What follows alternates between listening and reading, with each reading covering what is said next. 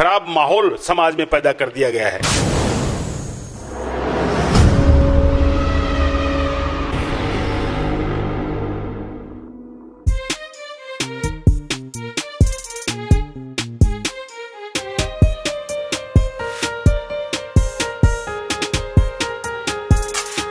ज़्यादा फैसिलिटी अलग चीज़ है और शिक्षा अलग चीज़ है। शिक्षा पहले के ज़माने में देखें, अपन तो शिक्षा गुरुकुल में हुआ करती थी। वहाँ कोई फैसिलिटीज़ इतनी नहीं थी। लेकिन शिक्षा के मात्र में, संस्कारों के माध्यम में, संस्कार उस ज़माने में जो गुरु देता था, वो आज भी दे रहे हैं। ग्रामीण क्षेत्रों में ऐसी है, लेकिन फैसिलिटीज़ उपलब्ध नहीं है। शहरी क्षेत्रों को छोड़ दीजिए आप, कुछ गिने चिने स्कूलों को छोड़ दीजिए, जहाँ सुविधाओं के नाम पे बहुत कुछ है, लेकिन शिक्षा के नाम पे ज़ीरो है। शिक्षा के, संस्कारों के नाम पे ज़ीरो हैं। तो मैं ये कहूँगा कि शिक्षा से जुड़े हुए हैं हम तो शिक्षा पे ही ज़्यादा ज़ोर दें। सुविधाएँ होनी चाहिए, आवश्यक सुविधाएँ होनी चाहिए विलासता का जीवन जीने के लिए नहीं।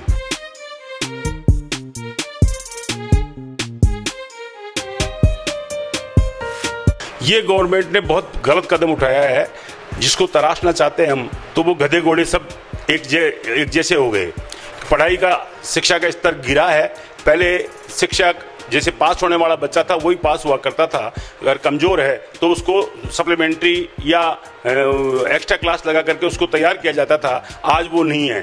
बच्चा तैयार इसलिए नहीं करता है कि पास तो कर ही देंगे गुरुजी, गवर्नमेंट फेल करने के नियम है नहीं। इसलिए मैं तो ये कहूँगा, गवर्नमेंट का ये स्टेप गलत है। कुछ बच्चों के खातिर पूरी शिक्षा को ही डरा बिगाड़ दिया है।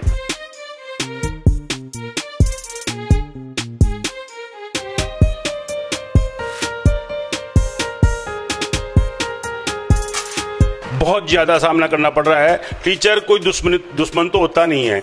है, बिल्कुल डराना और धमकाना। जिस प्रकार खुमार मटका बनाता है तो ऊपर से थाप लगाता है, लेकिन अंदर से सहारा लगाता है। ठीक गुरु भी वैसा ही काम करता है कि ऊपर से धमकाएगा, डराएगा, पिटाई भी कर देगा, लेकिन ऐसा भी नहीं है कि वो उसको शारीरिक क्षति पहुँचाए। ऐसा नहीं है।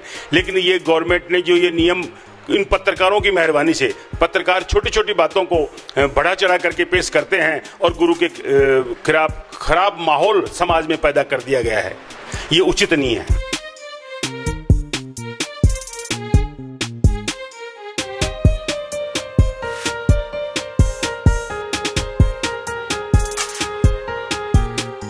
बिल्कुल सभी को दिखाना चाहिए, बहुत अच्छा है ये प्रोग्राम और इससे गुरुओं को सम्मान मिलेगा। हैं तो मैं तो सभी स्कूल डायरेक्टर से निवेदन करता हूँ कि आप सभी इस अनमोल से जुड़ें और सबको बच्चों को दिखाएँ।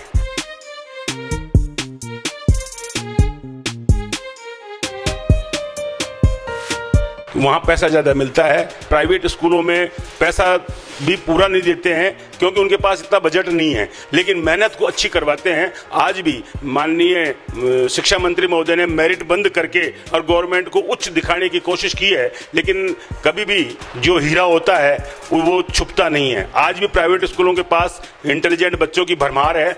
गवर्नमेंट स्कूलों में वो बात नहीं है।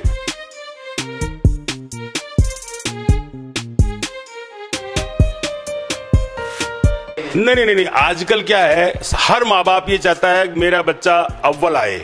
अब संभव नहीं है, अव्वल पे एक आएँगे, दो आएगा, तीन आएँगे, सारे अव्वल तो ला नहीं सकते, स्कूल वाला भी नहीं ला सकता। तो हर माँ बाप की ये भूख है कि हमारा बच्चा ही अव्वल आए। तो उसके लिए वो ट्यूशन भी भेजेगा, कोचिंग भी भेजेगा, कैसे भी वो अपने बच्चे को सब सर्वश्रेष्ठ देखना चाहता है।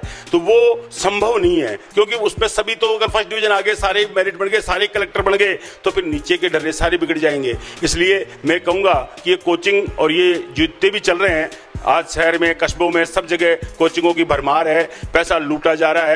उनकी कोई सीमाएँ नहीं है तो ये उचित नहीं है। आने वाले भविष्य में एक दिन इनके ऊपर गाज गिरेगी।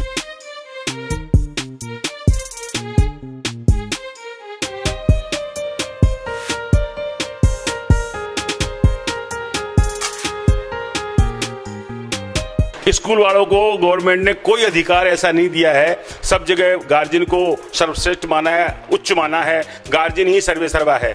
स्कूल वाले बेचारे कई बार हमारी फ़ीस डूब जाती है। हैं, गार्जियन ये कहते हैं हम ऑफ़िस में शिकायत करेंगे आपकी, हमारे पास डीओ के पास शिकायत हो जाती है। डीओ सीधा सीधा आदेश कर देता है, तुरंत प्रभाव से टीसी दे दो आपको, किसी का भविष्य बिगाड़ने का अधिकार नहीं है। हम शुरू से लेकर के बच्चों को पढ़ा रहे हैं, और फ़ीस नहीं दे पा रहा है गार्जियन। चलो हम अगले साल तक के वेट कर लेते भाई अगले साल देगा। फिर वो टेंथ पास आउट हो जाता है। फिर भी टीसी मार्कशीट के लिए गवर्नमेंट से इस, सरकारी स्कूलों से दबाव आ जाता है कि नहीं आप किसी का भविष्य नहीं बिगाड़ सकते। आपको फ़ीस पहले वसूल करनी चाहिए। जब गार्जियन फ़ीस नहीं दे रहा है तो हम किस हिसाब से फ़ीस वसूल कर पाए? भाई ठीक है चलो टीसी मार्कशीट लेगा तो देंगे लेकिन हम फ़ीस ले नहीं पाते हैं और गवर्नमेंट का प्रेशर आ जाता है।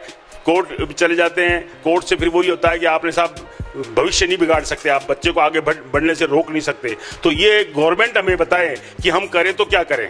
हमने शिक्षा दी है, पैसा नहीं है गार्जियन के पास, चलो भाई ठीक है, इस साल नहीं है, अगले साल देंगे। अगले साल भी देने के मूड में गार्जियन नहीं होता है, और फिर ये कोर्ट का सहारा लेकर के या एजुकेशन डिपार्टमेंट का सहारा लेकर के और हमारे ऊपर दबाव बना करके और टीसी ले ली जाती है और बच्चे को आगे पढ़ाया जाता है। यहाँ प्राइवेट उसका स्कूल वालों की ये बुरी व्यथा है।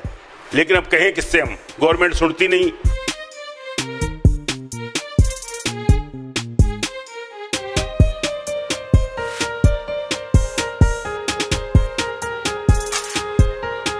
बिल्कुल मन से प्रयास करूँगा, जितना प्रयास मेरे सहयोग बनेगा, उतना सहयोग भी करूँगा, हैं? और ये अगर वास्तव में, हकीकत यह है कि गवर्नमेंट को भी बैठना चाहिए, और ये फ़िल्म देख करके निर्णय करना चाहिए कि दोषी हम हैं या गवर्नमेंट का डर्रा या फिर गार्जियन इतना हावी होता जा रहा है, ये उचित नहीं है।